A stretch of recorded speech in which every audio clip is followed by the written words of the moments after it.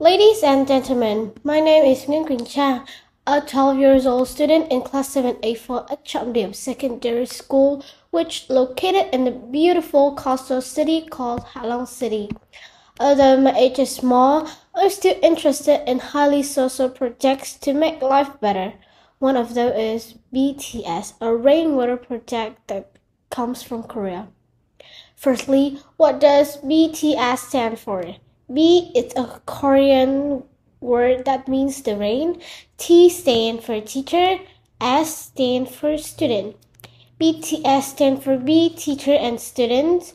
BTS are the letters that manage water facilities and carry out rainwater activities to raise awareness regarding the importance of rainwater. The primary aim of this project endeavor to enhance the sensitivity to water significance among schools and students on a global scale through the intentional activity by developing comprehensive activity, menu encompassing diverse range of engagements. We aim to educate and empower young leaders within each educational institution, equipping them to intake the activities among their peers and extend their influence to the broader community. We aim to connect B teacher and student from all around the world and share our knowledge and experience of rainwater.